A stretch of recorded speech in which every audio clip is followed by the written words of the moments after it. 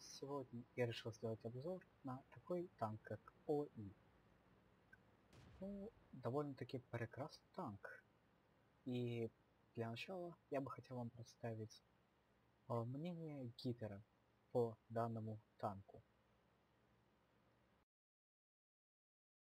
Всем привет!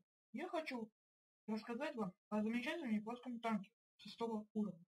Ой, ой, это минимал своего уровня. Он обладает великолепной броней, а также он имеет на выбор два орудия. Скорострелка с уроном выше 300 и бронеметом, как у КВ-2. То все эти преимущества ой, расплатился маневренностью. Так, ну вот судя по тому, что нам рассказал мой друг Гитер, а, танк ОИ очень медлительный, но обладает довольно хорошим разовым уроном. А, и да, как выразился мой друг, тут стоит бревномет. Разовый урон у фугасницы бронебойным будет под 750, а фугасом 900. Ну, бронебойн... у бронебойных пробитие 135, поэтому лучше поиграть на бронебойках, чтобы уж точно пробить. Фугасы по большей части нужны, ну, если уж мы точно уверены, что на фугасах снаряд зайдет. Попали мы на карту Westfield. Обычно бой. И попытаемся проехать через холмики. Опять-таки же, тут можно посетовать на скорость танка. Ау. И вот давайте доберем эту. Вот. Конечно же, ой, в маску мы бы вряд ли, вряд ли пробили бы с такого расстояния, но ой, экспериментал да распилить. Так, но нужно сменить ракурс, поскольку если нас пробьет ОИ, из команды противника, то нам точно будет больно. Он тоже с фугаской. Цель захвачена. И... Цель потеряна. Бля, выстрелил в неизвестность. Выстрел в неизвестность всегда. Не всегда может привести до добра. Так. Обзор, конечно, у танка тоже плохой, но он все-таки тяжелый из... О, нет, я не попал. О, там кто-то решил по мне пострелять издалека. Цель захвачена. Так, надеюсь. Есть цель.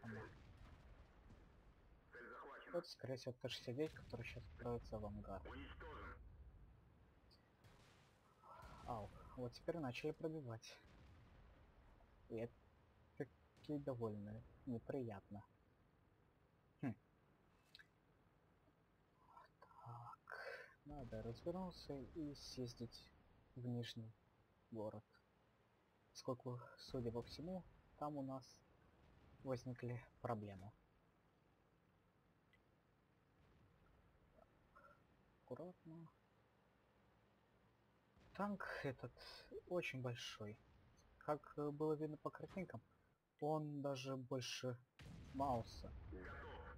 И больше ЕСО. Следовательно, светиться он будет на ура. К этому времени у нас уже три уничтоженных танка и довольно-таки большая перезарядка. Да, все-таки у меня, к сожалению, слетела запись, но к этому моменту нас тут толком... Ну, мы смогли продавить город. И осталось там всего 4 противника. Так, сейчас. Уже 3, 2 и один противник. Ну, что ж, этот танк довольно-таки прекрасный. Он просто великолепно дамажит, но, к сожалению, скорость. Он будет просто любимцем арты. Если вот попасть на какие-то городские э, карты, этот танк будет просто незаменим в бою. Также для укрепрайонов он тоже прекрасно подходит. Ну, все. Судя по всему, тут добирать-то уже нечего. Остался последний противник Шкода.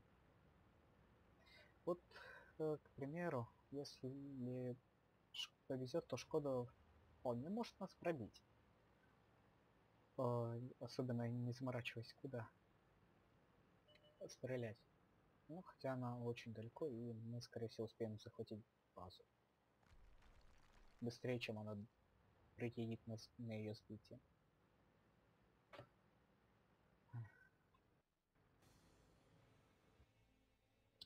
Ну вот, как-то... Какой-то такой бой получился. К сожалению, запись слетела, но... По большей части, в это время слетевшей записи, я молчал. Поскольку основную часть рассказал вам Гитар. И также мнение Гитара будет э, присутствовать во многих обзорах танков. Также в ближайшее время, скорее всего, Гитар тоже сделает свой канал. Как только он сделает, я сразу вам сообщу об этом. И оставлю ссылку. Ну а на данный момент все. Спасибо за просмотр. С вами был Стритмен. И гиты. Пока.